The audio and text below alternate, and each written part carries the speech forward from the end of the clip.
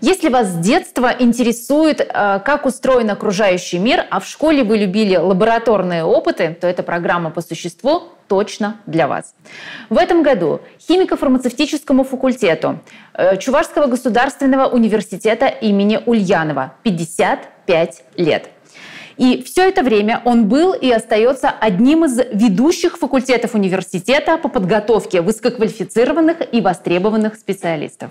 И вот уже 35 лет химфак возглавляет заслуженный деятель науки Чувашской Республики и Российской Федерации профессор Олег Насакин. Олег Евгеньевич, здравствуйте.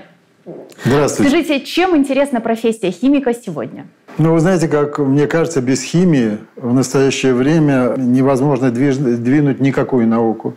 Все авангардные области, включая IT, они э, полностью на химической науке. Поэтому, когда Чувашия начала развиваться очень интенсивно, то одно из первых самых решений было построить химический факультет. Когда мы открылись, э, нас было 125 человек. Сейчас факультет – это 700 человек, огромное количество иностранцев у нас, почти 27% э, коллектива – это еще дополнительные иностранцы из 18 стран мира. Поэтому преподавание на нашем факультете идет как на русском языке, э, для наших русских, так и на рабочем. Рабочий у нас английский язык. Химико-фармацевтический факультет, э, ну, по-моему, это самый оснащенный из всех факультетов. Какое у вас есть оборудование? Для чего оно предназначено? Специфика химической науки заключается в том, что молекулы, которые мы синтезируем, а мы занимаемся очень много лекарствами против рака, СПИДа, туберкулеза. Туберкулез – проблема в Чувашской республике, поэтому мы к нему тоже подключились. Существует оборудование, которое позволяет достаточно точно определить структуру, ту или иную структуру.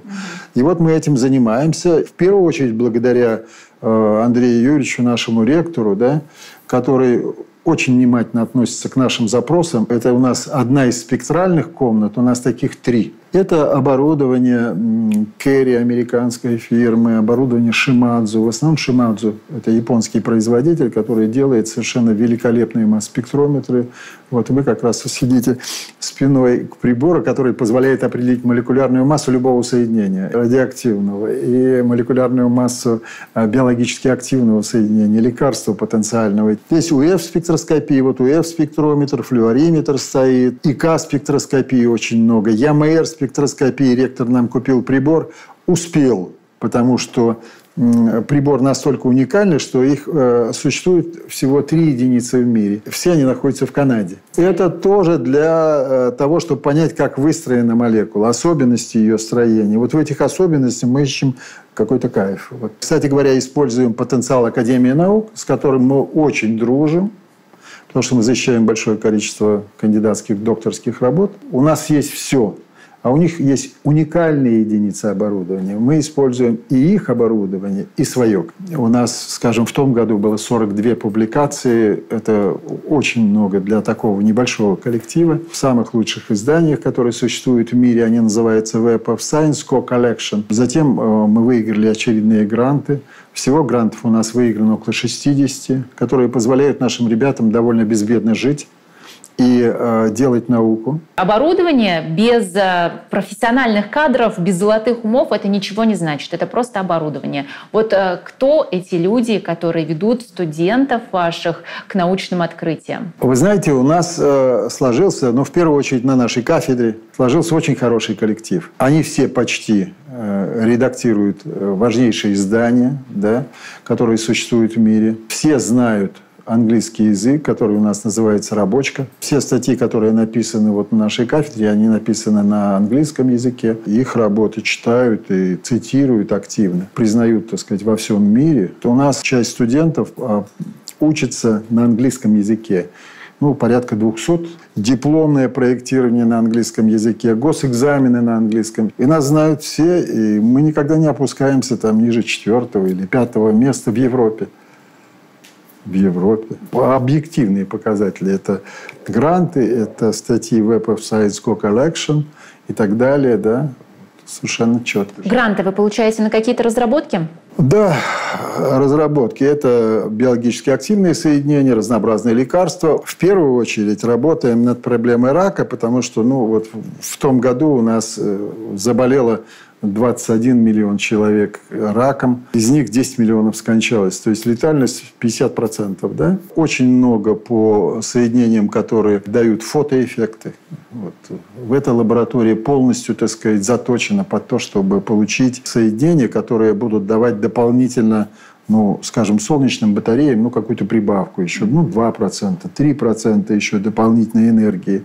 А это очень важно сейчас, потому что сейчас зеленая энергетика, мы стараемся спасти Волгу, стараемся спасти вот все, что нас окружает, нам нравится это, да, угу. полежать на траве, понюхать цветы. А для этого у нас должна быть энергетика такая углеродонезависимая. В основном это солнечные батареи, ветряки, как на Западе, да. Поэтому вот ребята очень серьезно продвинулись в этом вопросе. Мы уверены, что подарим нашей республике э, фармацевтическое производство, что бы мне очень хотелось. Одно из производств, которое мы организуем э, в Чувашской республике, чего у нас нет, к сожалению, это производство фармацевтических препаратов. Это в первую очередь против рака против туберкулеза, который одолевает республику, его много. Ну и некоторые другие заболевания, такие как СПИД еще. Занимаемся, трудимся, не покладая рук. Олег Евгеньевич, у вас здесь работает очень много бывших студентов, ныне уже научных сотрудников, достаточно молодой профессорско-преподавательский состав. Как вам удается заманить их, оставить их у себя, чтобы они не уезжали в большие города? Вы знаете как, вот специально мы не заманиваем. Вот серьезно, мы, не, мы никого не заманиваем. Они приходят на факультет, я их всех предупреждаю, что вы вступаете на территорию науки.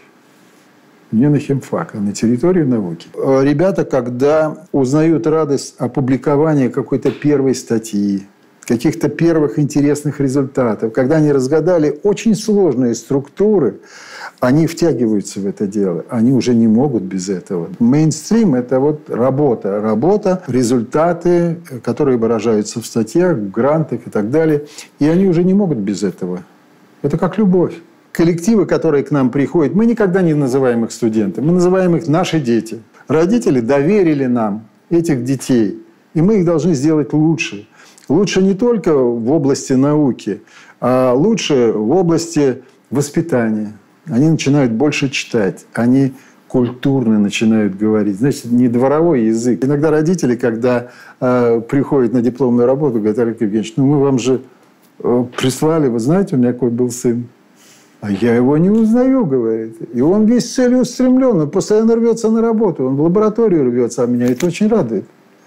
Поэтому вот я считаю, что э, ребята очень неплохие к нам приходят. Главное заинтриговать их. К нам в течение года обращались четыре организации. И э, все просят э, ребят, которые вышли не просто из университета, а из лаборатории. Вот таких ребят, которые могут двинуть производство, которые могут подать какую-то идею, которые могут воплотить, поскольку работают и руками, и головой, вот они нужны. До этого у нас были а, производства синтепоны. Тоже нам нужны люди из лаборатории, которые умеют что-то делать и знают, как это сделать. И я постоянно пытаюсь их привлечь в науку. Я говорю, что у нас вот такие, такие, такие ребята, ко мне можете, туда, сюда, такие-то лаборатории. Идите в лаборатории, ребят. Если вы хотите быть в жизни, ну, хотя бы полковником, понимаете, а я думаю, генералом и маршалом, идите в лаборатории. Найти новую идею, притворить ее – это самое большое счастье в жизни. Где работают ваши студенты? Кем вы действительно можете гордиться? У нас очень много ребят и преподавателей, которые у нас работали. У нас тут работал, например, э, Самуил Зильберг, я могу сказать, он был моим замом. Он работал э, в Иерусалимском университете на Западе ну, профессор, естественно. И сейчас он работает в университете Ариэль. Вот два года назад он был представлен на Нобелевскую премию. У него 10 публикаций э, в журнале, который называется JACS – Journal American Chemical Society. И на основе этого, вот видите, его выставили на Нобелевскую премию. Ну, не получил, но он все равно находится в топе самых лучших химиков. У нас работают люди в Барселоне. Э, вот мой аспирант э, Валера Павлов, он работает в Барселоне – У него количество его публикаций в первом квартале – это самый-самый-самый-самый топ. А, превышает 100.